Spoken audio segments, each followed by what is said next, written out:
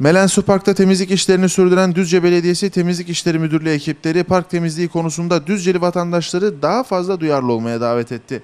Düzceli vatandaşların hafta sonları uğrak noktası olan Melen Su Park'ta temizlik çalışmaları aralıksız devam ediyor.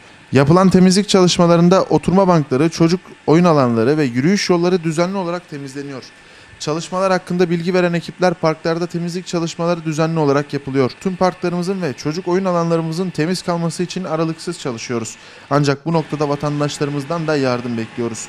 Çöplerini, pet şişelerini, kuru yemiş kabuklarını yerlere atmamalarını, oturma bankları ve masalarda ateş yakmamalarını rica ediyoruz. Parklarımızı hep birlikte el birliğiyle temiz tutalım. Bu konuda vatandaşlarımızı daha duyarlı olmaya davet ediyoruz ifadeleri kullanıyor.